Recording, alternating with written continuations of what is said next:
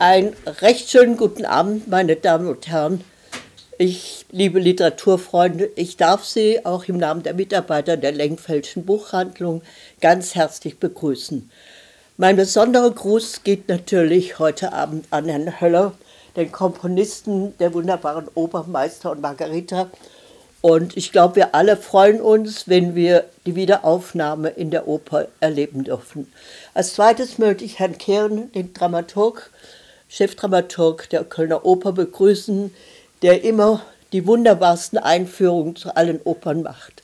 Und ich genieße es immer, ihn zu hören. Ja, und nach Last Not Least kennen Sie ja unseren genialen Vorleser, Helge Heinold. Der wird uns heute aus diesem wunderbaren, hochinteressanten und tollen Buch vorlesen. Eine Passage, nicht komplett, das komplette Buch dürfen Sie dann selbst lesen. Nun wünsche ich Ihnen einen sehr interessanten Abend und Herr Kehren, Sie wollen auch ein bisschen einführen.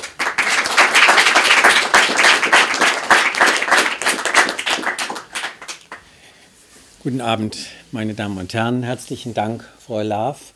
Und auch herzlichen Dank, dass Sie das möglich gemacht haben, was wir jetzt heute hier gemeinsam erleben. Es ist für uns von der Oper Köln, und da spreche ich auch im Namen der anwesenden Intendantin Birgit Meyer, eine große Freude, hier an diesem Ort so eine ja, würdige Soiree ganz im Zeichen dieser Neuproduktion von Jörg Höllers Oper Der Meister und Margarita zu starten. Ähm, gleichzeitig, ähm, außer dass wir immer die Atmosphäre hier in diesem ähm, Literaturladen genießen, ist es für uns von der Oper dann auch nochmal eine Gelegenheit, etwas näher an unsere eigentliche Heimstätte, nämlich den Offenbachplatz, heranzurücken.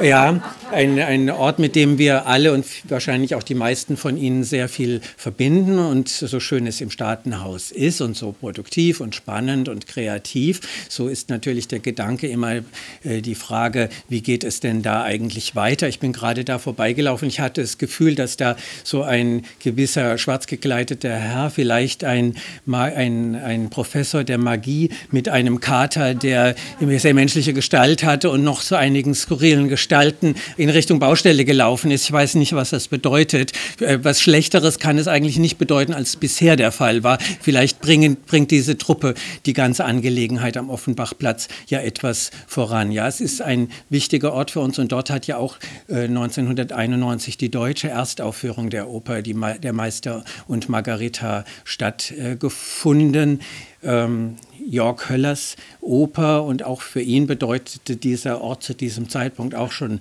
viel. Er war nicht zuletzt auch Zeuge der wichtigen Uraufführung am 15. Februar 1965 bei Bernd Alois Zimmermanns Die Soldaten. Jörg Höller war im Publikum. Bernd Alois Zimmermann war sein Lehrer. So setzte sich die Linie weiter fort und ähm, diese Oper Der Meister und Margarita darf als eines der wichtigsten zentralen Opernwerke des ausgehenden 20. Jahrhunderts betrachtet werden. Es hat bislang kompliziert in der Aufbereitung, nicht leicht zu machen, nicht jedem Haus zuzumuten. Noch nicht so viele Produktionen dieses Werks gegeben. Da war die Uraufführung 1989 in äh, Paris in der, äh, unter der musikalischen Leitung von Zakrosek, Lothar Zakrosek, in der Regie von Hans Neuenfels. Dann hier die deutsche Erstaufführung in Köln 1991. E ebenfalls wieder Lothar Zakrosek am Pult und äh, Friedrich Meyer-Oertel äh, als Regisseur. Dann gab es nur noch eine weitere Neuinszenierung vor wenigen Jahren in Hamburg. Und nun haben wir, und da spreche ich wieder auch für Birgit Meyer, uns entschlossen, gerade zu diesem Zeitpunkt jetzt auch im Sinne einer auslaufenden Ära, die gerade stattfindet, diese Oper ins Programm zu nehmen, die so universale Themen unserer Zeit und jeder Zeit streift und auf einem großen, aufregenden, zentralen Roman, nämlich dem gleichnamigen Meister und Margarita von Michail Bulgakov, beruht. Als wir uns dazu entschlossen haben, diese Oper, die jetzt äh, unter der Regie von Valentin Schwarz äh, stattfinden wird, äh, der ja im Übrigen diesen Sommer auch am äh, bei den Bayreuther Festspielen seine Neuinszenierung des gesamten Ringes des Nibelungen, alle vier Opern vorstellen wird. Ähm, äh, unter seiner Regie jetzt diese Neuproduktion der Meister und Margareta vorzustellen mit André de Ritter am Pult. Da konnten wir zu dem Zeitpunkt, als wir es ins Programm nahmen, gar nicht ahnen, ähm, welch, in welche Zusammenhänge eines brisanten äh, zeitpolitischen Geschehens wir äh, uns da bewegen würden ähm, durch die weltpolitischen Verwerfungen, sprich Putins Aggression, sprich durch den Krieg. Ähm, denn unabhängig davon steckt in dieser Oper, in diesem Werk so viel drin, was zeitlos uns, uns alle betrifft und diese Welt betrifft. Es sind so viele ähm, Bezüge in diesem Werk und auch in der Oper Jörg Höllers zu den Themen, die uns gerade schockieren und beschäftigen und die wir jetzt jeden Tag mitbekommen. Nehmen wir nur die Biografie von Michail Bulgakov. In dieser Biografie spiegeln sich alle Verwerfungen der sowjetischen Geschichte, russischen Geschichte, ukrainischen Geschichte, wie man es nimmt. In seinem frühen Roman Die Weiße Garde, da ähm, schildert er äh, den Bürgerkrieg, den äh, Bürgerkrieg 1918 äh, bis 1921 und zeigt dabei, wie seine, äh, wie die Menschen und deren Schicksale äh, zerrieben werden zwischen den verschiedenen kämpfenden Fronten, sei es der ähm, Bolschewiken, also der Roten Garde, sei es der ukrainischen Nationalisten und das Simon Petliura oder aber der Weißen Garde, der sogenannten Bürgerlichen, denen er in diesem äh, Roman, die Weiße Garde, viel Sympathie eben auch entgegenbringt. Äh, ja, in, sein gesamtes Leben spielte sich innerhalb dieser Verwerfungen der Geschichte ab. Er ist 1891 geboren in Kiew und Kiew war sozusagen seine geliebte Stadt. Das war die Stadt, in der er nicht nur geboren wurde, sondern auch der aufwuchs, wo er ähm, auch seine ersten Berufsjahre als ähm, Arzt äh, verlebte. Ähm, um dann ab 1921, da war er knapp 30, als Literat und äh, Theatermann in Moskau tätig zu sein, aber dort auch immer wieder den Schikanen und den Zurücksetzungen durch die äh, politisch gelenkten äh, Funktionäre des offiziellen Literaturbetriebs ausgesetzt. Immer wieder erhoffte er, Bulgakov, sich in diesem Zusammenhang Unterstützung vom großen Führer höchstpersönlich, von Stalin. Und die bekam er mal ein bisschen, da wurde dann mal ein Aufführungsverbot zurückgenommen, aber dann wurde das wieder rückgängig gemacht, dann wurde er wieder an der langen Leine gehalten. Das heißt, es war eine aufreibende, eine von vielen Fragen, Ängsten, Zweifeln besetzte Zeit. Und trotzdem wollte er sich den Glauben nicht nehmen lassen, dass das eigentliche Hauptübel doch wohl die heuchlerischen Vertreter der Bürokratie seien und nicht so wirklich der große Führer selbst. Das heißt, sein gleichwohl distanziertes Verhältnis zu Stalin war durchaus ambivalent. Aber aus der Live-Situation einer erlebten Geschichte stellt sich so etwas eben immer ganz anders dar, als mit dem Sicherheitsabstand Abstand von Jahrzehnten, der dazwischen liegt, der uns dann doch ein endgültiges Bild äh, über eine geschichtliche Person, wie es Stalin ist, abliefert. Der Roman der Meister und Margareta darf heute ohne weiteres als ein Klassiker der Literatur des Surrealen und des Fantastischen bezeichnet werden. Er ist entstanden über einen Zeitraum von zehn Jahren, also zwischen 1929 bis 1940. Das ist dann gleichzeitig auch das Todesjahr Michael Bulgakows, denn er starb ja schon 1940, 48-jährig, ähm, seelisch sehr demoralisiert, nicht zuletzt sicherlich auch durch die diese schwierigen Zurücksetzungen, die er hat erleben müssen, körperlich verbraucht, zuletzt sogar erblindet und an einer Nierensklerose zehn Jahre der Entstehungszeit dieses Romans. Das bedeutete, diesen Roman äh, gab es immer wieder in verschiedenen Fassungen. Das heißt, er hat äh, verschiedene Fassungen entwickelt. Und wie ich gerade neulich erst äh, gelesen habe, war die eigentliche Liebesgeschichte, also die Geschichte zwischen dem Meister und Margarita, eigentlich etwas, was fast zuletzt in diesen, in diesen Roman Eingang gefunden hat. Ursprünglich sollte dieser Roman wohl der Huf des Ingenieurs heißen und sich in erster Linie um diese Teufelscharaden, die jetzt jetzt auch innerhalb dieser Handlung vertreten sind, drehen. Also der Meister und Margarita als Liebesgeschichte nun titelgebend für diesen äh, Roman und natürlich auch ein ganz starker autobiogra autobiografischer Verweis Bulgakows, den man unschwer natürlich in diesem als Meister bezeichneten Verfasser eines Romans erkennen kann. Das heißt, Verfasser eines Romans, ein bislang, also der Meister, ein bislang unbeschriebenes Blatt, der sich dazu entschlossen hat, ein Buch zu schreiben und ähm, dieses Buch dann einem Verbot ausgesetzt sieht und sich selbst als Opfer einer Rufmordkampagne. Das heißt, die Gestalt des Meisters spiegelt in vielen Aspekten äh, Michael Bulgakows Situation wieder mit seiner Frau Jelena an der Seite, die für ihn gekämpft hat, um ihn gekämpft hat, so wie es Margarita auch im Roman in Hinsicht auf ihren Meister eben tut. Und dieser Zusammenhang der Liebe, die da dann nun diesem Werk den Titel gibt, der Meister und Margarita, das lässt natürlich auch den, äh, den Bezug zur Oper aufscheinen. Und da darf man sagen, Michael Bulgakov würde sich sicherlich sehr für die Oper von Jörg Höller interessiert haben. Zunächst einmal, weil es sich dabei um seinen Roman handelt, der zu einer Oper wird. Zum anderen aber, weil er generell ein ganz großer Liebhaber des Genres Oper war. In seiner Jugend träumte er selbst davon, Opernsänger zu werden.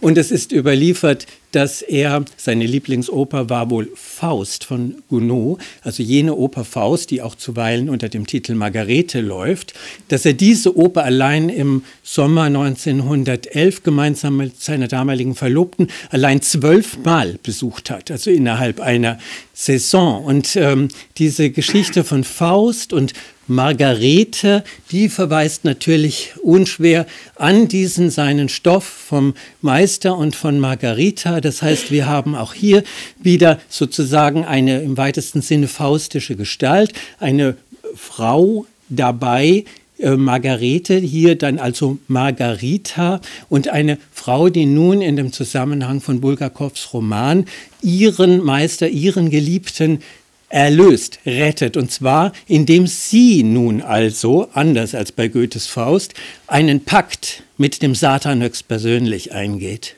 Das heißt, sie setzt alles aufs Spiel, sie geht Hand in Hand mit dem Satan, entschließt sich zum Äußersten und versucht damit ihren Meister zu retten. Das ist äh, der Bezug, der hier mit der ja, der uns in das Feld der Oper verweist, aber immer wieder, und das ist auch Jörg Höller natürlich schon bei seiner ersten Lektüre damals dieses Romans aufgefallen, es sind so viele musikalische Verweise in diesem Roman, Erwähnungen von Eugen Onegin oder auch handelnde Figuren, die den Namen von Komponisten tragen, Berlioz, Stravinsky, Rimsky, Korsakow, Bezüge mannigfaltig. Der Roman selbst ähm, die meisten von Ihnen werden mir zustimmen und werden es wissen.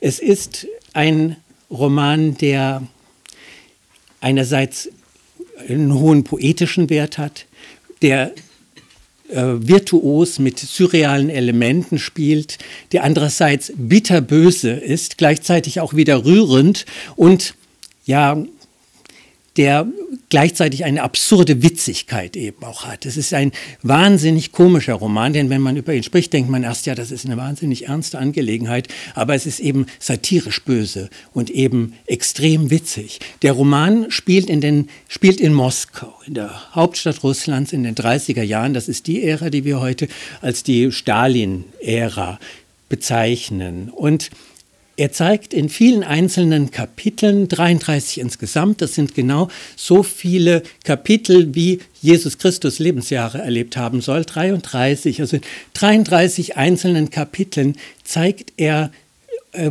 uns, wie da die Bürgerinnen und Bürger dieser Hauptstadt eigentlich unentwegt die Idee des Kommunismus verraten die Idee des Kommunismus verraten, indem sie sich als kleinkariert, neidisch, verlogen, heuchlerisch, denunziatorisch, anpasserisch, karrieristisch oder auch einfach nur als geldgeil erweisen. Zwei Ausnahmen gibt es. Und das ist zum einen der schon benannte Meister, das heißt ein Mensch, ein bislang zurückgezogen habender Intellektueller, der diesen Roman verfasst hat über Pontius Pilatus und die Verurteilung des Jesus Christus, hier hebräisch Jeschua genannt. Und äh, der bevor dieser Roman überhaupt veröffentlicht werden konnte, erleben musste, dass die Funktionäre des Literaturbetriebs diesen Roman verhindert haben, weil er nicht in die offizielle Lesart, politische Lesart passt und sich darüber hinaus auch noch als Opfer einer Rufmordkampagne sehen muss. Dieser Meister ist die eine Ausnahme und die andere Ausnahme ist eben Margarita, seine Geliebte, die oh, für ihn kämpft, für sein Werk kämpft und auch ihm unentwegt beisteht. Das sind die beiden Ausnahmen. Die eigentliche Hauptfigur dieses Romans, und das ist die Figur, die all diese 33 Kapitel wie ein roter Faden zusammenhält, das ist der Teufel höchstpersönlich, der Satan, der Professor der Magie, Wohland mit Namen. Er steht im Zentrum dieses Geschehens. Aber selbst von Menschen, die diesen Roman gelesen haben, werde ich dann doch immer wieder gefragt, ja, aber um was letztendlich geht es denn jetzt eigentlich so richtig zusammengefasst in diesem Buch? Diese verschiedenen Ebenen, das ist klar, da ist die Liebesgeschichte der Meister und Margarita, da ist diese surreale Ebene mit dem Satan und da ist eben dieser Roman im Roman mit Pontius Pilatus und Jesus. Und da kann ich nur sagen, es geht in diesem Roman ganz zeitlos und völlig unabhängig, ob wir uns in Russland oder sonst irgendwo auf der Welt befinden, um die Freiheit oder Unfreiheit unseres Denkens, um die Freiheit oder Unfreiheit unseres Handelns. Es geht um unser Gewissen und um die Frage, nach welchen Kriterien wir erkennen, was gut ist oder böse ist und dann im weiteren Schritt, wie wir davon ausgehend uns letztendlich entscheiden.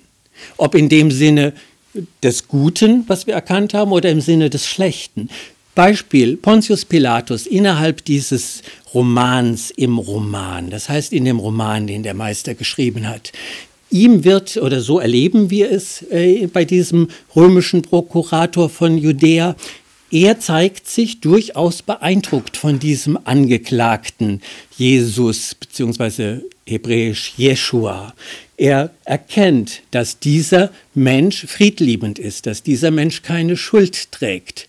Gleichwohl verurteilt er ihn zum Tode, weil er nach den Vorgaben des römischen Machtapparats im Sinne des Kaisers Tiberius es als die opportune Entscheidung ansieht.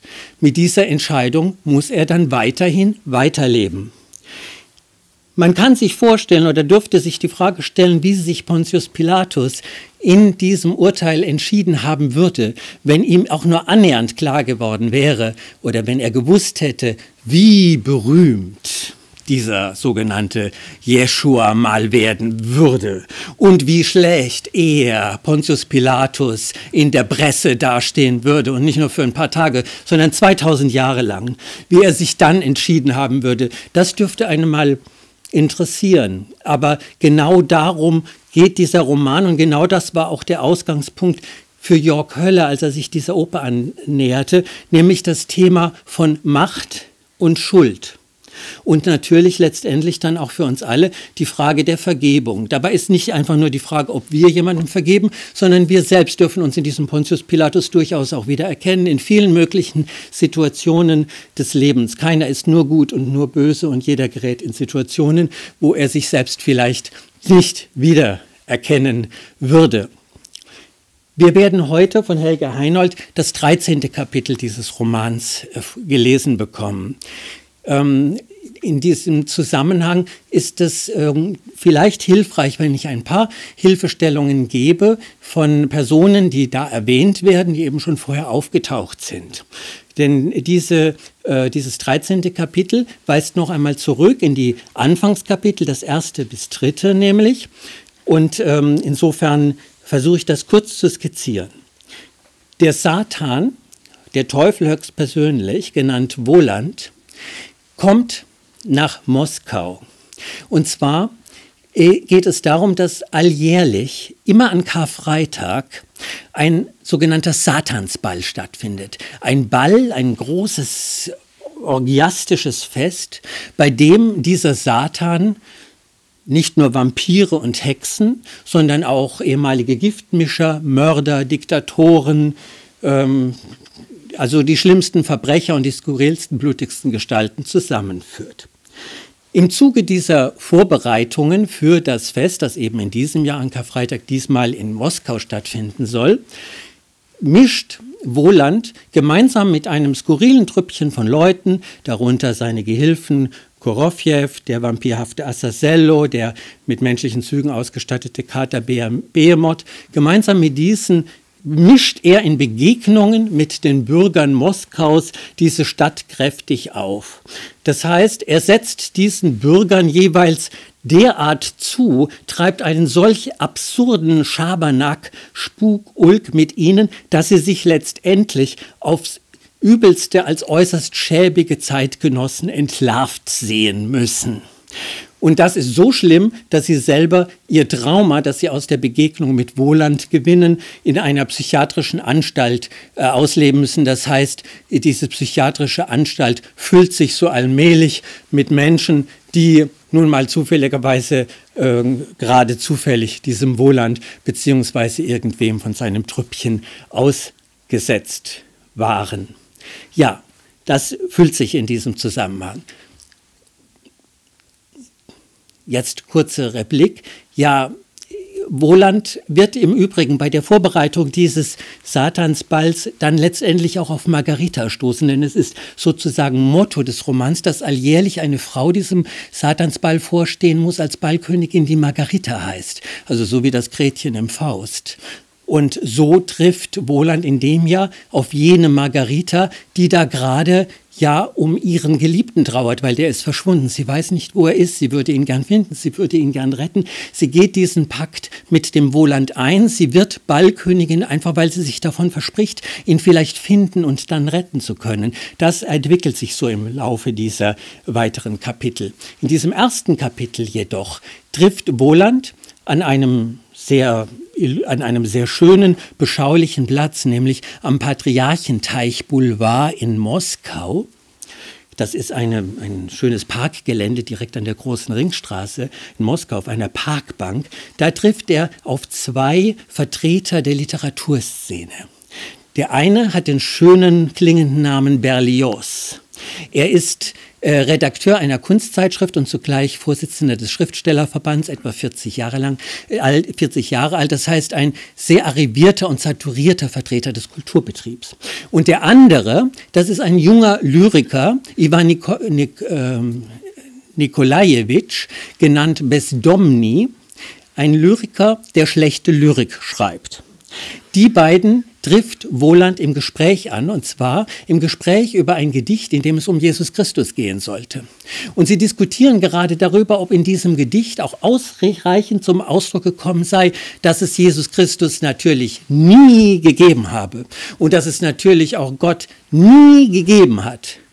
Und in dieses Gespräch fühlt sich der Teufel höchstpersönlich berufen einzugreifen, denn wenn jemand behauptet, den Gott habe es nicht gegeben, dann heißt das, den Teufel hat es auch nicht gegeben. Also muss er sich ja einschalten. Und so führt er diesen beiden, dem saturierten Berlioz und dem jungen Lyriker Besdomny, der schlechte Lyrik schreibt, eine Vision vor Augen, ein Szenarium, das innerhalb des Romans ein eigenes Kapitel einnimmt und das auch in der Oper vorkommt, wo man die Verurteilung, das Gespräch des Pontius Pilatus mit dem Angeklagten Jesus Christus miterleben kann. Ein Gespräch, bei dem der Teufel Wohland behauptet, selbst dabei gewesen zu sein. Zurück am Patriarchenteich Boulevard zeigt sich Berlioz uneinsichtig. Er glaubt es immer noch nicht. Er will es nicht wahrhaben. Es kann nicht sein, was nicht sein darf. Und quasi um ihn vom Gegenteil zu überzeugen, nämlich davon, dass es eine höhere Macht gibt, prophezeit der Teufel Wohland diesem Berlioz, noch am selben Tag werde er zu Tode kommen, und zwar dadurch, dass sein Kopf vom Rumpf getrennt werde. Das passiert dann auch prompt, denn dieser Berlioz läuft in seiner Aufregung in eine Straßenbahn, die seinen Kopf abtrennt. Damit hat sich die Prophezeiung des Teufels erfüllt. Und der Lyriker bis der Zeuge dieses Vorfalls geworden wird, der darf sich gewissermaßen fast als bekehrt plötzlich ansehen, denn nun muss er einsehen, da ist offenbar ein Mensch, der ist eigentlich wie der Satan. Und das Ganze reibt ihn derartig auf, dass er über kurz oder lang auch in jener psychiatrischen Anstalt landet, der ein Psychiater mit dem schönen Namen Strawinski vorsteht. Und so kommen wir nun endlich zu Kapitel 13, wo nämlich dieser Lyriker Bestomni traurig sein Patientendasein fristet und nun auf den Meister trifft. Jenen Meister, der sich nach einer Nervenkrise, einem Nervenzusammenbruch selbst in diese Anstalt äh, hat einweisen lassen, wo ja auch sonst immer wieder Opfer Wohlands eingewiesen werden. Und das Gespräch im Zusammenhang auch mit Pontius Pilatus, das bekommen wir nun dankenswerterweise von Helge Heinold zu Gehör gebracht. Dankeschön.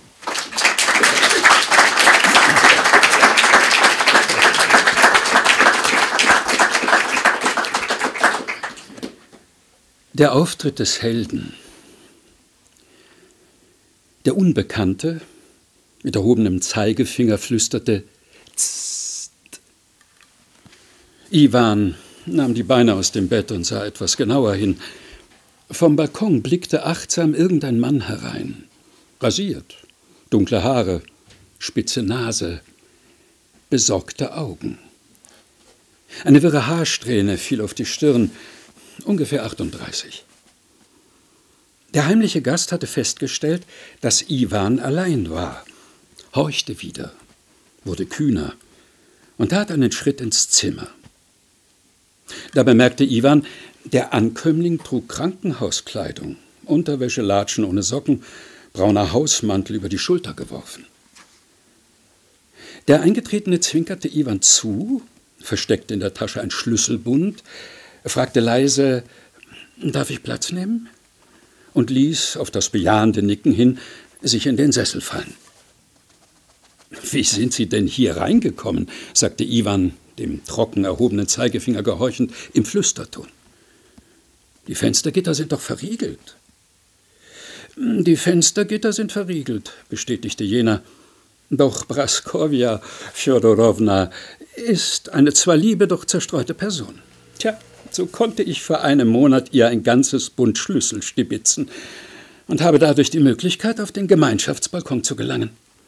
Der zieht sich um das gesamte Gebäude. Und von Zeit zu Zeit statte ich meinen Nachbarn kleine Besucher ab. Aber wenn Sie auf den Ballon, aber wenn Sie auf den Balkon gelangen können, haben Sie doch die Möglichkeit zu türmen, nicht wahr? Oder ist es zu hoch? fragte Ivan voll Eifer. Nein, gab der Gast entschlossen zur Antwort. Ich kann hier nicht weg. Nicht, weil es zu hoch ist, sondern weil ich nirgends hin kann. Und fügte nach einer Weile hinzu, also was jetzt? Reden wir? Von mir aus reden wir, sagte Ivan und schaute tiefer in diese dunklen und äußerst unruhigen Augen. Äh, gut. Plötzlich wurde der Mann nervös. Sie sind aber keiner von den Tobsüchtigen, oder? Es gibt nichts, was ich so verabscheue wie Lärm, Gewühl, Gewalt und dergleichen. Ganz besonders unausstehlich finde ich Schreie. Ob vor Schmerz, vor Wut oder auch sonst einem Grund. Nun beruhigen Sie mich, indem Sie mir sagen, dass Sie keiner von den Tobsüchtigen sind. Gestern Abend im Restaurant habe ich einen Typen die Fresse poliert, gestand tapfer der verwandelte Iwan. Begründung? fragte unbarmherzig der Gast. Nun eigentlich ohne jede Begründung, antwortete Iwan und schämte sich. Das ist übel, verurteilte ihn der andere. Und dann diese Ausdrücke. Die Fresse poliert. Tja, er weiß schon genau, was Menschen so haben. Eine Fresse oder vielleicht ein Gesicht? Ich tippe doch eher auf Letzteres. Und da kommen Sie mit Ihren Fäusten. Das muss wohl nicht sein. Also lassen Sie das, und zwar für immer. Nachdem er Iwan auf diese Weise die Leviten gelesen hatte, wollte er wissen, Ihr Beruf? Dichter, entgegnete jener ohne sonderlich große Begeisterung. Der Gast war darüber wenig erfreut. Was habe ich bloß für ein Pech, rief er aus.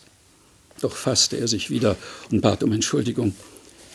Wie ist denn Ihr Name? Besdomni.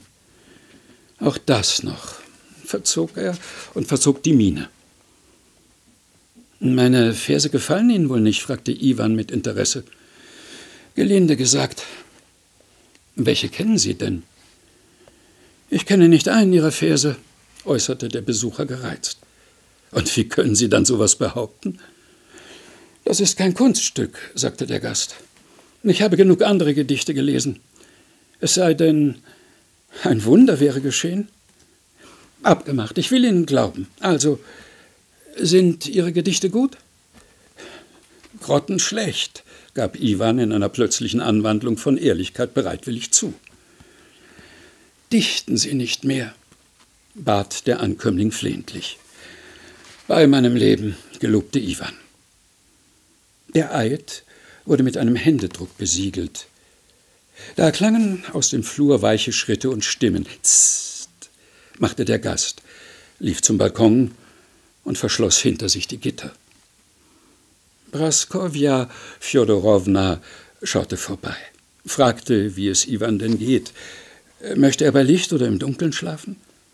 Der Kranke bat, das Licht anzulassen. Sie wünschte gute Nacht und verließ den Raum.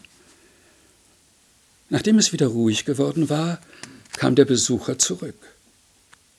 Flüsternd berichtete er Iwan, auf Zimmer 119 wohnt jetzt ein neuer, irgend so ein Dicker mit rotem Gesicht. Der murmelt ständig etwas von Dollars im Lüftungsschacht und schwört, in der Gartenstraße hatten sich böse Mächte eingenistet. Hält lauter Hasstiraden auf Puschkin, brüllt immer zu Korolesow, bravo. Und der Gast zuckte nervös. Er fasste sich wieder, nahm Platz und sagte, doch genug von ihm und griff das alte Gespräch mit Iwan sogleich wieder auf.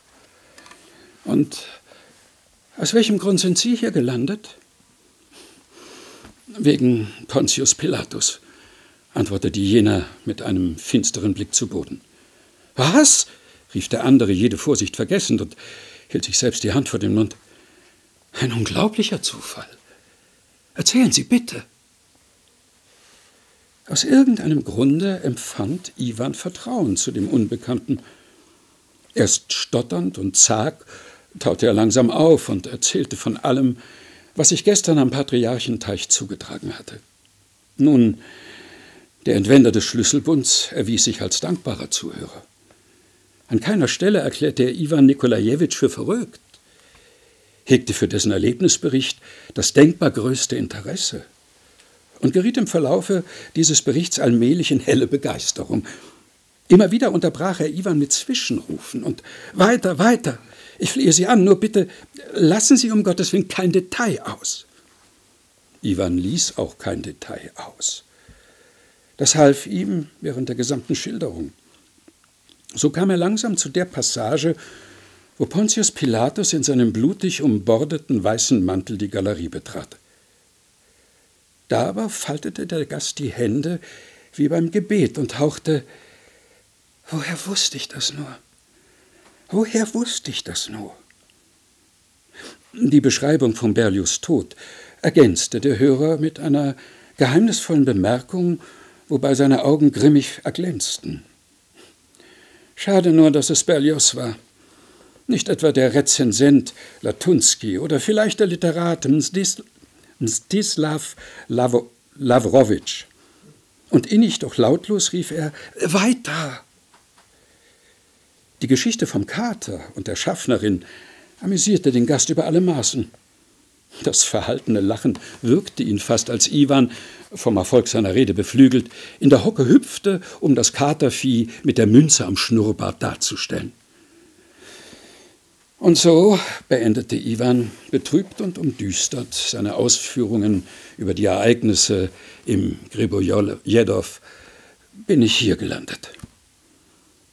Der Besucher legte dem Unglücklichen die Hand auf die Schulter und sagte zu ihm, Armer Dichter, aber Sie sind, mein Guter, an dem, was geschehen ist, selber schuld. Sie können mit ihm unmöglich so reden, so respektlos. Schon beinahe unverschämt. Das ist die rechte Strafe dafür. Und Sie haben noch Glück. Die Geschichte ist für Sie doch relativ glimpflich ausgegangen. Ja, aber was ist er um alles in der Welt? fragte Iwan und schüttelte in Erregung beide Fäuste. Der andere sah ihm tief in die Augen und antwortete mit einer Gegenfrage. Und Sie bleiben auch ganz bestimmt auf dem Teppich? Wir sind hier ja alle ziemlich labil. Keine Arztrufe, Spritzen und ähnliches Zeug? Nein, nein, beteuerte Ivan. Nun sagen Sie schon, wer ist dieser Mensch? Also gut, sprach der Gast bedeutsam und ruhig. Gestern Abend am Patriarchenteich begegneten Sie Satan persönlich. Wie versprochen blieb Iwan auf dem Teppich und dennoch äußerst verblüfft. Ganz ausgeschlossen. Es gibt ihn nicht. Ach was. Gerade Sie sollten's doch wissen. Denn so wie es aussieht, waren Sie nämlich eins seiner ersten Opfer. Und jetzt sitzen Sie hier, in einer Klinik für Geistesgestörte, und reden davon, dass er nicht existiert? Das ist wirklich seltsam. Iwan verstummte, reichlich verwirrt. Kaum haben Sie angefangen, ihn zu beschreiben, sprach er weiter, da schwante mir bereits, mit wem Sie gestern das Vergnügen hatten. Und ich muss doch sehr über Berlioz staunen. Also, Sie sind als Mensch noch ganz jungfräulich. Der Gast entschuldigte sich erneut. Aber der, nach allem, was ich von ihm gehört habe, hat immerhin ein wenig gelesen. Doch schon die ersten Sätze der Rede jenes Professors genügten mir noch den leisesten Zweifel auszuräumen. Wissen Sie, Freund, es ist völlig unmöglich, ihn nicht zu erkennen. Und was Sie betrifft, das ist jetzt überhaupt nicht böse gemeint. Liege ich richtig mit der Annahme, dass Sie keinerlei Bildung besitzen? Absolut, antwortete Iwan, der gar nicht wiederzuerkennen war. Sehen Sie, denn selbst das Gesicht, wie Sie es beschrieben haben, die verschiedenen Augen, die Brauen, nichts für ungut. Ist Ihnen vielleicht selbst die Oper Faust vollkommen unbekannt? Aus irgendeinem Grund wurde Iwan furchtbar verlegen. Mit glühendem Gesicht begann er, etwas von einer Erholungsfahrt nach Jalta zu murmeln. Sehen Sie, sehen Sie. Ist doch nicht verwunderlich wogegen mich Berlioz, wie gesagt, mehr als erstaunt. Er ist nicht nur ein belesener Mensch, sondern vor allem ein schlauer Fuchs. Doch zu seiner Ehrenrettung könnte ich sagen, dass Wohland jedem den Blick trüben kann, sogar den Schlauesten. Wie war das? rief seinerseits Ivan. Er schlug sich mit der offenen Hand gegen die Stirn und keuchte. Ja, sicher, das W auf dem Kärtchen. Auweia, was für eine Geschichte. Er schwieg eine Weile, sichtlich bewegt, betrachtete den Mond, der hinter dem Gitter vorüberzog, und redete weiter. Dann konnte er wirklich bei Pilatus sein. Ich meine, er war da schon geboren. Und die schimpfen mich einen Verrückten, fügte er hinzu und zeigte empört zur Tür. Eine bittere Falte legte sich um die Lippen des Gastes.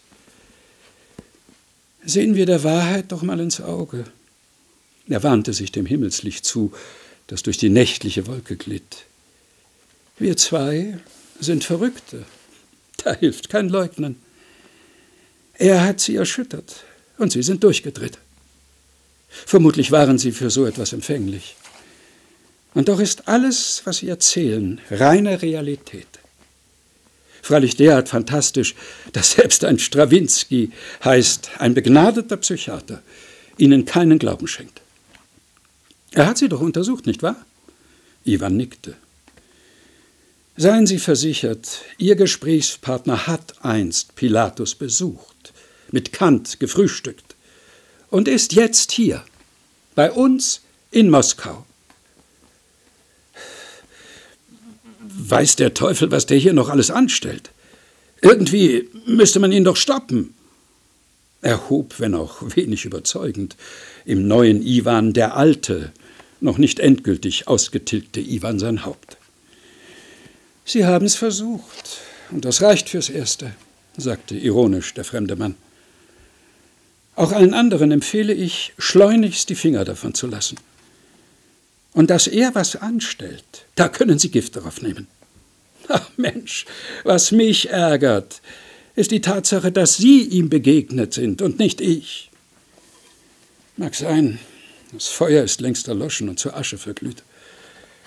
Und doch wäre ich bereit, für solch ein Treffen selbst Praskowja Fjodorewnas Schlüsselbund herzugeben. Denn ich besitze nicht mehr als das. Bin arm wie eine Kirchenmaus.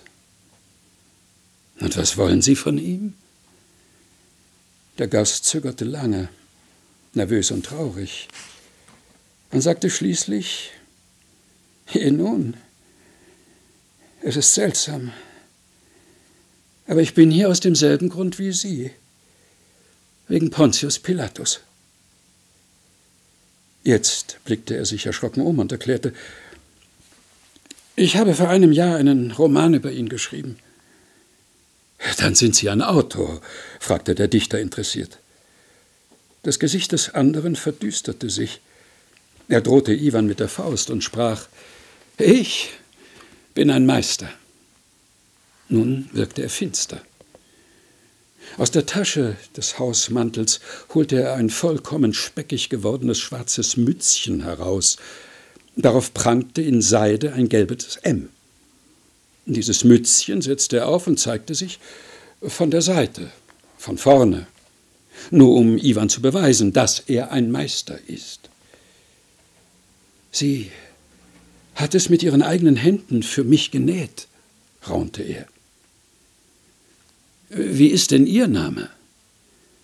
Ich habe keinen Namen mehr, erwiderte voll grimmiger Verachtung der seltsame Gast. Ich habe mich davon losgesagt wie auch von allem sonst im Leben. Vergessen wir ihn. Dann erzählen Sie doch wenigstens von Ihrem Roman, bat Ivan delikat. Wenn Sie unbedingt wollen. Mein Leben hat sich einigermaßen gewöhnlich entwickelt, begann er.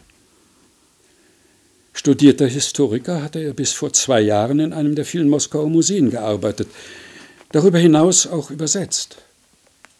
Und aus welcher Sprache? fragte Iwan voll Neugier. Ich beherrsche neben der Muttersprache noch fünf weitere. Englisch, Französisch, Deutsch, Latein und Griechisch. Nun gut, Italienisch reicht mir zum Lesen. Nicht übel, flüsterte Iwan neidisch. Doch der Historiker war ganz einsam gewesen, ohne Verwandte, fast ohne Freunde, und hatte, man stelle sich das mal vor, eines Tages hunderttausend Rubel gewonnen. Sie können sich denken, wie sehr ich staunte, flüsterte der Gast im schwarzen Mützchen, als ich den Korb für schmutzige Wäsche hineingriff und sah, dieselbe Nummer wie in der Zeitung. Die Obligationen, erklärte er, bekamen wir über das Museum. Nach dem Gewinn von hunderttausend Rubeln tat der geheimnisvolle Gast wie folgt. Er kaufte sich Bücher gab ein Zimmer, gab sein Zimmerchen in der Mjasnitskaja auf. Ein grausames Loch, knurrte er. Und mietete bei einem Bauherrn zwei Räume im Keller eines kleinen Gartenhauses. Das Gässchen lag in der Nähe vom Arbat. Den Dienst im Museum quittierte er und begann die Arbeit an dem Roman über Pontius Pilatus. Ach, es war das goldene Zeitalter, flüsterte er, und seine Augen glänzten. Ein vollkommen isoliertes Nest. Dazu eine Diele. Und dann ein Becken mit Wasser, unterstrich er, offenbar ganz besonders stolz. Ein paar Fensterchen direkt überm Gehsteig, der vom Gartentor zu mir führte. Gegenüber nur vier Schritte entfernt am Zaun Flieder, Linde und Ahorn. Ach, ach, ach. Im Winter sah ich draußen gelegentlich irgendwessen schwarze Füße und hörte darunter knisternden Schnee. In meinem Ofen brannte ewig das Feuer und plötzlich war es Frühling. Durch die trüben Scheiben erblickte ich erst nackte, dann sich mit Grün bekleidende Fliederbüsche. Und da, das heißt im letzten Frühjahr, geschah etwas sehr viel Großartigeres als der Geldgewinn. Und Sie müssen zugeben, hunderttausend sind schon ein hübsches Sümmchen. In der Tat, stimmte Ivan zu, der ihm aufmerksam lauschte. Ich hatte das Fenster geöffnet und saß im zweiten Zimmer. Alles ganz winzig. Er begann mit den Armen die Anordnung zu zeigen. Also hier stand die Couch, auf der anderen Seite die zweite Couch, dazwischen der Tisch, mit dem schönsten Lämpchen. Näher zum Fenster hin standen Bücher. Und hier mein kleines zierliches Schreibpult. Im ersten Zimmer ein riesiges Zimmer, 14 Quadratmeter, Bücher, Bücher und der Ofen. Einfach perfekt eingerichtet. Wie duftet der Flieder. Und mein Kopf wurde leicht von all der Erschöpfung. Und Pilatus sauste dem Ende zu.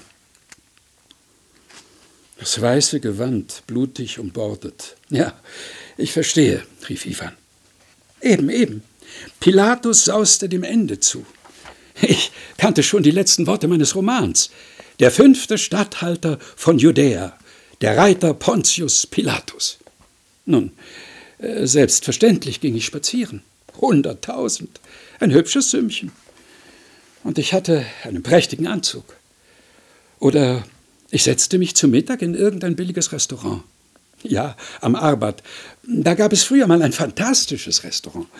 Ich weiß nicht, ob es noch existiert. Der Gast sperrte die Augen weit auf und sprach weiter, wobei er zum Mond hinschaute. Sie trug in den Händen ekelhafte, äh, besorgniserregende gelbe Blumen. Weiß der Teufel, wie man die nennt, doch warum auch immer, sind es die ersten, die in Moskau sprießen. Jene Blumen zeichneten sich schneidend scharf vor ihrem schwarzen Frühlingskot ab. Sie trug gelbe Blumen, keine gute Farbe. Von der Twerskaja aus bog sie ein in ein Nebengässchen und da plötzlich drehte sie sich um. Also die Twerskaja, die werden Sie kennen. Auf der Twerskaja laufen ständig Tausende und Abertausende Passanten. Doch ich könnte schwören, sie nimmt ganz allein nur mich wahr. Und der Blick ist, nein, nicht nur bekümmert, beinahe schon kränklich. Und was mich erstaunte, war nicht so sehr ihre Schönheit, als vielmehr diese einmalige, nie zuvor geschaute Einsamkeit in den Augen. Jenem gelben Zeichen gehorchend, biege auch ich in das Gässchen ein, folge ihr nach. Wir gehen schweigend durch das öde und schiefe Gässchen, ich auf der einen, sie auf der anderen Seite. Nun stellen Sie sich vor, das gesamte Gässchen wie ausgestorben. Ich quäl mich, jetzt unbedingt etwas sagen, hab Angst und weiß, wenn es nicht gelingt, wenn ich kein Wort herausbekomme und sie schwindet auf Nimmerwiedersehen. Von wegen. Sie selbst beginnt das Gespräch. Und? Mögen Sie meine Blumen? Ich weiß noch genau. Da klingt ihre Stimme ziemlich tief und doch gebrochen. Vielleicht bin ich dumm. Doch da hallt sie wieder, tönt durch die Gasse, zurückgeworfen von der dreckigen gelben Wand. Also wechsle ich schnell die Seite, gehe auf sie zu und antworte Nein. Sie blickt verwundert. Und mir wird klar, wie aus heiterem Himmel, dass ich schon immer, mein Leben lang, diese Frau da liebe. Einfach unglaublich. Sie können jetzt sagen, ich sei verrückt. Ich sage überhaupt nichts, rief Ivan aus und fügte hinzu, nur erzählen Sie weiter. Und der Gast fuhr fort, sie blickt verwundert. Sie blickt und fragt, mögen Sie etwa gar keine Blumen? Mit einer Stimme, irgendwie feindselig. Ich gehe daneben, bemüht Schritt zu halten, fühle mich aber zu meiner Verblüffung kein bisschen beklommen. Doch, ich mag Blumen. Nur nicht solche, sage ich. Welche denn? Rosen. Schon bedauere ich, es gesagt zu haben. Sie lächelt verschämt, wirft den Strauß in die Gosse. Ein wenig verlegen heb ich ihn auf. Sie aber schmunzelt und schiebt ihn von sich. Nun muss ich ihn tragen. So gehen wir schweigend eine Weile. Sie nimmt mir die Blumen ab, wirft sie zu Boden. Ihr Arm, im schwarzen Handschuh mit Stulpe, hakt sich auf einmal bei mir ein. Und wir laufen zusammen. Und weiter, bat Ivan, nur nichts auslassen. Und weiter? erwiderte der Besucher. Ich meine, Sie können sich gewiss denken, was weiter war. Da wischte er sich mit dem rechten Ärmel eine plötzliche Träne aus dem Auge und fuhr fort Die Liebe sprang zwischen uns, wie nachts auf der Straße aus dem Nichts ein Mörder herausspringt, uns niederschmetternd. So niederschmetternd wie ein Blitz. So niederschmetternd ist ein finnisches Messer. Sie selbst übrigens bestritt das später. Wir hätten uns nämlich schon lange geliebt, bloß ohne einander zu sehen und zu kennen. Denn sie lebte mit einem anderen zusammen und ich mit dieser. Wie hieß sie doch glatt? Mit wem? fragte Bestomni. Äh, mit dieser Na, mit dieser Na, sagte der Gast und schnippte mit den Fingern. Sie waren verheiratet? Ja, darum schnippe ich ja. Mit dieser war ja, Mann ja, nein, war ja. Jedenfalls in so gestreiftem Kleid. Na, die im Museum. Ich weiß nicht mehr. Nun, sie behauptete, sie wäre damals mit den gelben Blumen in der Hand aus dem Haus gegangen, damit ich sie finde. Wenn nicht, dann hätte sie Gift geschluckt, denn ihr Leben sei sinnlos. Ja, die Liebe hat uns augenblicklich niedergeschmettert. Ich wusste es noch am selben Tag, eine Stunde später, als wir gemeinsam, wir bemerkten die Stadt nicht, an der Kremlmauer am Moskwa-Kai standen. Wir unterhielten uns, als wären wir gestern erst auseinandergegangen, als würden wir uns schon jahrelang kennen. Wir beschlossen, wir sehen uns morgen wieder an derselben Stelle, am Moskwa-Fluss. Und wir sahen uns wieder. Die Maisonne leuchtete. Und schon bald, schon bald wurde diese Frau zu meiner heimlichen Lebensgefährtin. Sie besuchte mich jeden Tag. Und ich erwartete sie schon vom frühen Morgen an. Diese Erwartung drückte sich darin aus, dass ich Sachen auf dem Tisch hin und her bewegte. Zehn Minuten bevor sie kam, setzte ich mich ans Fenster und lauschte, ob nicht das alte Gartentor ruckte. Und wie sonderbar! Vor unserer Begegnung war selten jemand, oder besser gesagt nie jemand, in den Hof gekommen. Doch jetzt strebte die ganze Stadt hierher. Kaum ruckt das Tor, kaum ruckt das Herz, schon erscheinen direkt vor meinem Gesicht unbedingt jemandes schmutzige Stiefel, ein Messerschleifer. Was um alles in der Welt will ein Messerschleifer in unserem Haus? Was gibt es zu schleifen? Was denn für Messer? Sie trat durchs Tor nur ein einziges Mal, doch das Herz ruckte mir vorher schon mindestens zehnmal, ehrlich.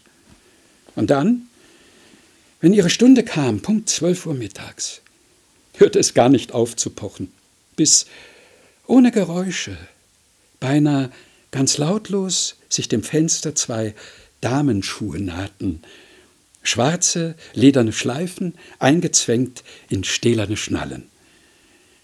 Manchmal neckte sie mich und blieb vor dem zweiten Fenster stehen, klopfte mit der Schuhspitze gegen die Glasscheibe. Flugs stand auch ich an diesem Fenster, doch der Schuh war fort. Die schwarze Seide, die das Licht verschleiert hatte, war fort. Und ich ging, die Tür aufzuschließen. Niemand wusste von unserer Beziehung, das schwöre ich Ihnen, obwohl es das eigentlich niemals gibt. Weder Ihr Mann noch die Bekannten. In dem alten Gartenhaus, in dem ich die Kellerräume bezog, hat man's natürlich schon gewusst. Hat man natürlich schon gesehen, dass mich eine Frau besucht. Doch ihren Namen kannte man nicht. Wer ist sie überhaupt? fragte Iwan im höchsten Maße von der Liebesgeschichte eingenommen. Der Gast machte darauf eine Geste, die besagte, dass er es niemandem nie verrät, und setzte seine Erzählung fort. Da hörte Iwan, dass der Meister und die Unbekannte sich so sehr ineinander verliebten, dass sie schier unzertrennlich wurden. Er war mit den beiden Kellerräumen des Häuschens bereits bestens vertraut. Ewige Dämmerung wegen des Flieders und der Umzäunung, rote abgeriebene Möbel, ein Sekretär, darauf eine Uhr, die jede halbe Stunde läutete, und Bücher, Bücher, vom gestrichenen Fußboden an bis unter die rusige Zimmerdecke und der Ofen. Ivan erfuhr, dass der Besucher und dessen heimliches, heimliche Lebensgefährtin schon in den ersten Tagen ihrer Beziehung zu dem Schluss gelangten, dass sie an der Ecke der Tverskaya und jener Gasse von niemand anderem als vom Schicksal selbst zusammengeführt worden waren und in alle Ewigkeit füreinander geschaffen sind.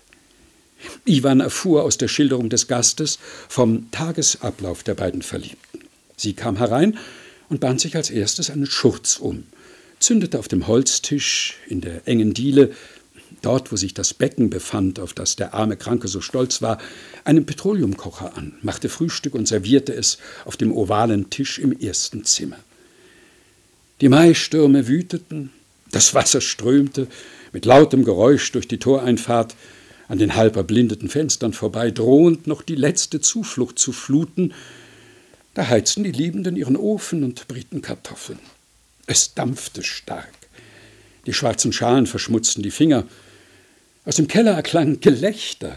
Die Bäume im Garten entledigten sich nach dem Regen der gebrochenen Zweige und weißen Blüten.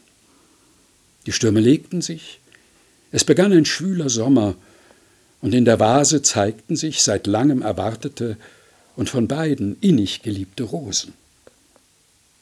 Derjenige, der sich als Meister ausgab, arbeitete fieberhaft an seinem Roman, und dieser Roman schlug auch ganz und gar die Unbekannte in Bann.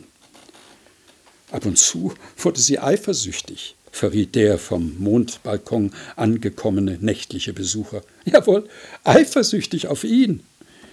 Sie krallte sich ihre schlanken Finger mit den scharf geschliffenen Nägeln ins Haar und las das Geschriebene ununterbrochen und nähte daraufhin an diesem Mützchen.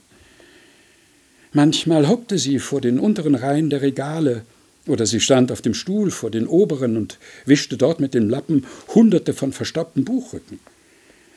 Sie verhieß ihm Ruhm, sie spornte ihn an und nannte ihn von da an nur noch Meister.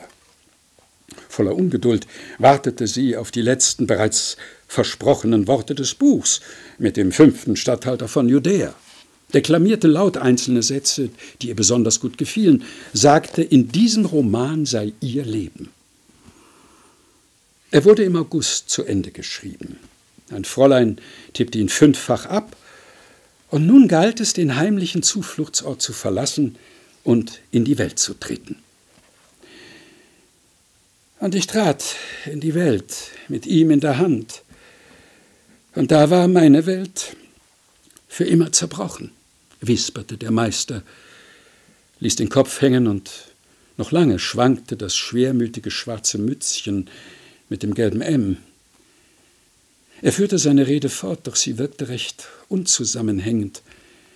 Nur eins war aus all dem klar zu verstehen, dass ich damals etwas Tragisches ereignet hatte. Zum ersten Mal landete ich im Literaturbetrieb. Aber jetzt, wo alles längst vorbei ist und mein Scheitern für alle offenbar, erinnere ich mich daran mit Schaudern, flüsterte er feierlich und hob seinen Arm. In der Tat, er hat mich zutiefst erstaunt. Oh ja, in der Tat, zutiefst. Wer denn? hauchte Iwan, kaum hörbar, um den aufgewühlten Erzähler bloß nicht zu unterbrechen. Na, der Redakteur, ich sagte es doch. Der Redakteur.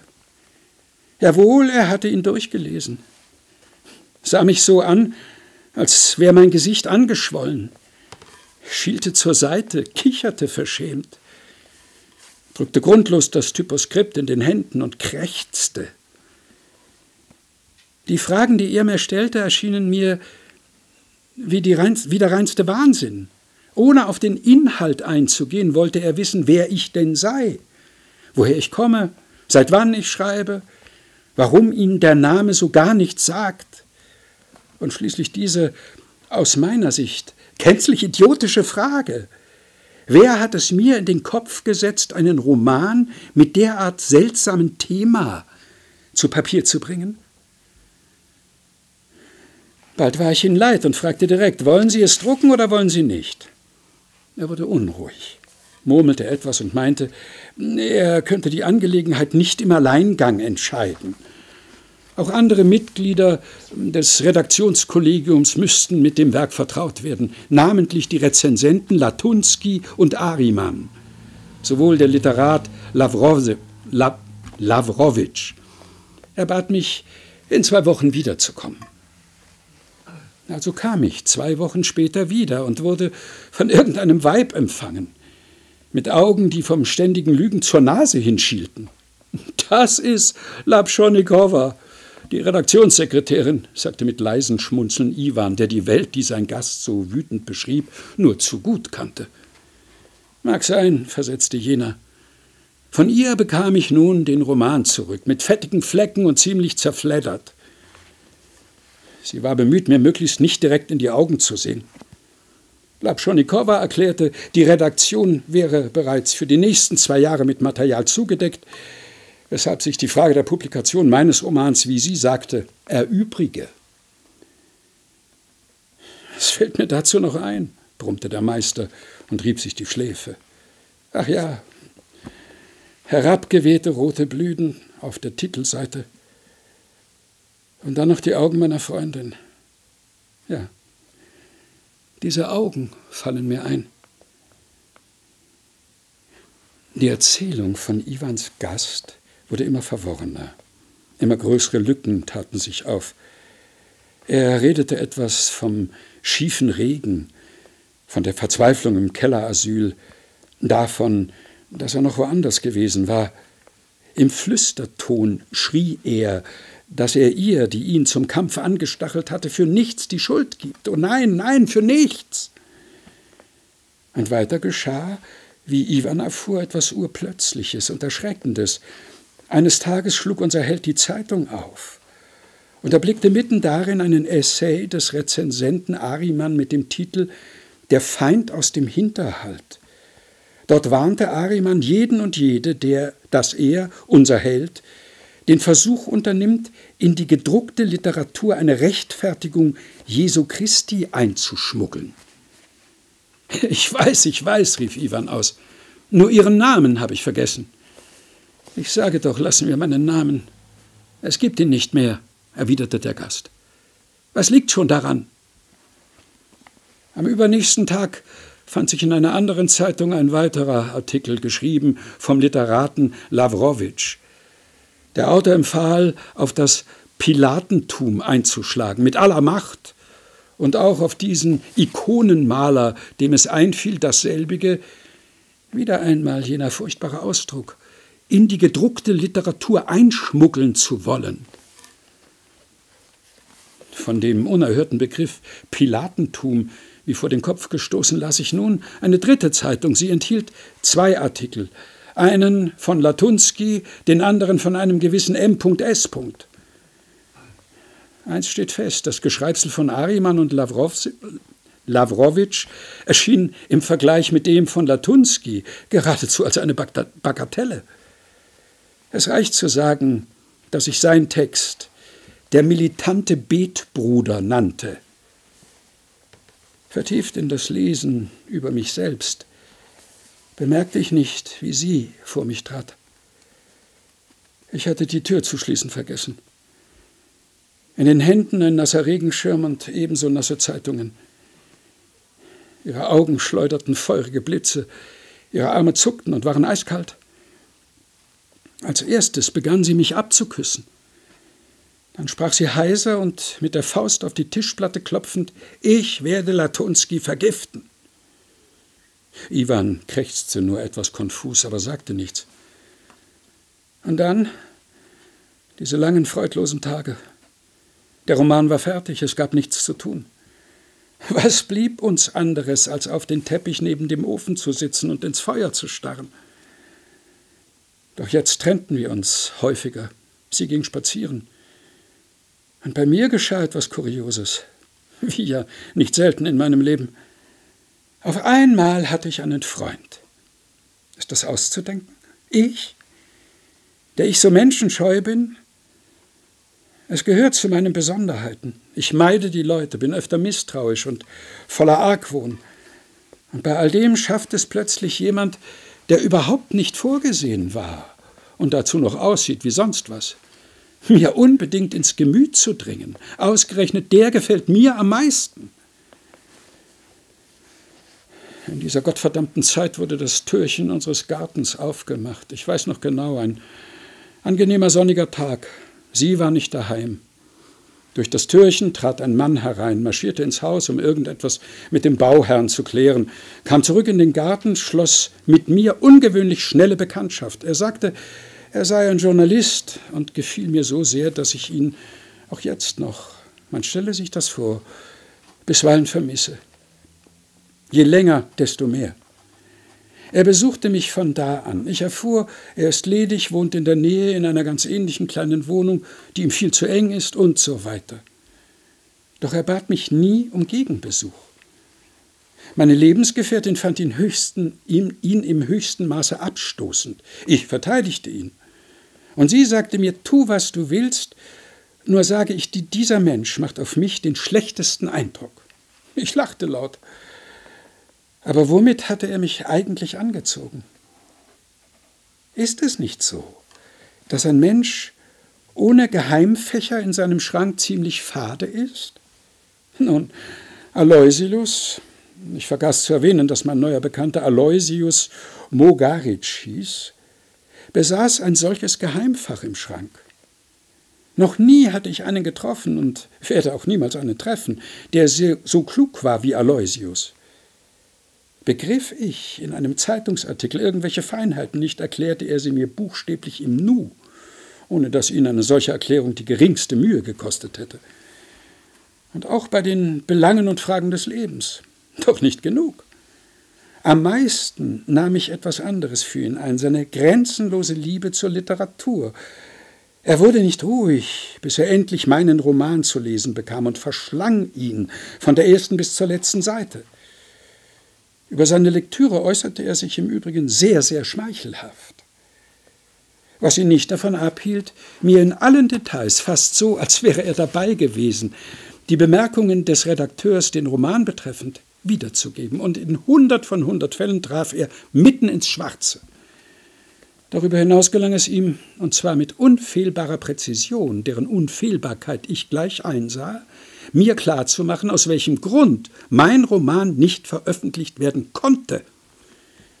Er sagte es mir gerade heraus, das und das Kapitel wird nicht gehen. Die Flut von Artikeln hörte nicht auf. Über die ersten von ihnen lachte ich. Aber je häufiger sie erschienen, umso stärker veränderte sich meine Einstellung ihnen gegenüber. Die nächste Stufe war Staunen. Etwas auf seltene Art Verlogenes und Schwammiges klebte an jeder Zeile, trotz ihres harschen und sicheren Tons. Ich wurde die leise Ahnung nicht los, dass die Autoren all dieser Kritiken schrieben, was sie nicht schreiben wollten, und dass ihr Zorn auch nur daher rührt. Schließlich die dritte und letzte Stufe, Angst. Nein, nicht Angst vor den, diesen Essays, verstehen Sie? Sondern vor ganz, ganz anderen Dingen, die weder mit Ihnen noch mit dem Roman auch nur das geringste zu tun haben. So bekam ich Angst vor der Dunkelheit. Kurzum eine Phase psychischen Krankseins. Oft, besonders während des Einnickens, krabbelte ein kalter, elastischer Krake mit seinen Fühlern direkt an mein Herz. Ich konnte nur noch bei Licht einschlafen. Meine Geliebte hatte sich sehr verändert. Vom Kraken sagte ich ihr kein Wort, doch sie merkte, dass etwas mit mir nicht stimmte. Sie wurde blasser, hagerer, lachte kaum, bat mich immer nur um Vergebung für ihr Drängen zur Publikation. Sie sagte, lass alles stehen und liegen, fahr ins Schwarze Meer und gib für die Reise den Rest des Geldes aus, das von den hunderttausend noch blieb. Sie war hartnäckig. Und um Streit zu vermeiden, irgendwas gab mir zu verstehen, dass die Reise ans Schwarze Meer nicht stattfinden würde, versprach ich ihr, es schon bald zu tun. Da wollte sie selbst das Ticket buchen. Ich nahm all mein Geld, an die zehntausend Rubel, und gab es ihr. Und warum so viel? fragte sie verblüfft. Ich sagte ihr etwas in der Art, dass ich Angst vor Dieben und Einbrechern hätte. Sie sollte es bis zu meiner Fahrt für mich aufbewahren. Dann nahm sie das Geld, legte es ins Täschchen, küsste mich, sagte mir, es ist leichter zu sterben, als dich in solch einem Zustand allein zu lassen. Doch sie werde erwartet und beuge sich der Notwendigkeit. Aber am nächsten Morgen käme sie wieder. Sie flehte mich an, nichts zu fürchten. Es geschah in der Dämmerung, Mitte Oktober. Sie ging, ich legte mich auf die Couch, schlief ein, ohne das Licht anzumachen. Ich wachte auf, denn der Krake war da. Nur mit äußerster Mühe gelang es mir, im Dunkel den Schalter zu ertasten. Laut Taschenuhr war es zwei. Ich hatte mich als kränkelnder hingelegt und erwachte als vollends Kranker. Gleich wird die herbstliche Finsternis die Fenster zerdrücken, ins Zimmer strömen, und ich ertrinke darin wie in tiefschwarzer Tinte. Ich erhob mich, ein Mensch ohne Selbstbeherrschung. Ich schrei auf. Gleich renne ich zu jemandem hin, egal zu wem, und sei es mein Bauherr oben im Haus. Ich kämpfte mit mir wie ein Übergeschnappter. Ich schaffte es noch eben zum Ofen zu kriechen und ihn anzuheizen. Als die Holzscheite knackten und die Ofentür klirrte, fühlte ich mich wohler. Ich stürzte zur Diele, machte mir Licht, fand eine Flasche Weißwein, entkorkte sie und trank den Inhalt direkt aus dem Hals. Das stumpfte die Angst ein wenig ab. Jedenfalls rannte ich nicht zum Bauherrn, sondern kehrte zum Ofen zurück. Ich öffnete das Türchen, so dass die Glut mir Gesicht und Hände versenkte und flüsterte: Nun merke doch, wie mir geschieht. Bitte komm, bitte komm bitte komm. Aber es kam niemand. Im Ofen dröhnte das Feuer. Gegen die Fenster peitschte der Regen. Und da war es zu Ende. Ich entnahm dem Pult die wuchtigen Hefte mit meinem Roman, samt allen Skizzen, und machte mich daran, sie zu verbrennen. Das ist sehr schwierig, denn beschriebenes Papier verbrennt nicht gern. Mir die Nägel brechend zerriss ich die Blätter, platzierte sie aufrecht zwischen den Scheiten und half kräftig mit dem Schürhaken nach. Manchmal erwies sich die Asche als stärker und erstickte die Flamme, doch ich kämpfte mit ihr. Und der Roman gab langsam seinen harten Widerstand auf und starb dahin. Vertraute Wörter erstrahlten vor mir. Das Gelb stieg beharrlich die Seiten hoch. Doch die Wörter schienen selbst da noch hindurch. Sie verschwanden erst, als das Papier schwarz wurde und ich ihnen mit dem Schürhaken wütend den Rest gab.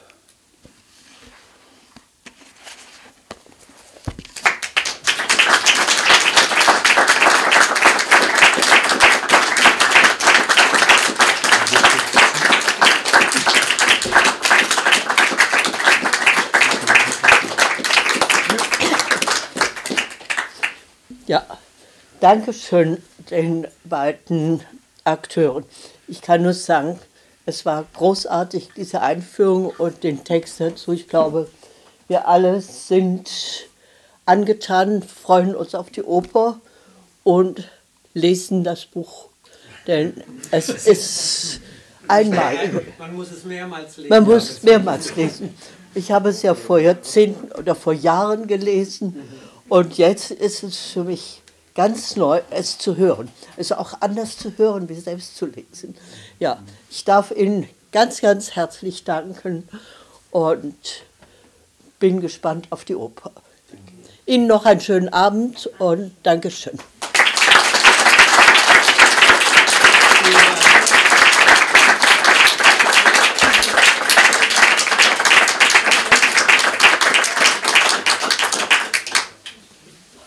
Das ist toll, ne?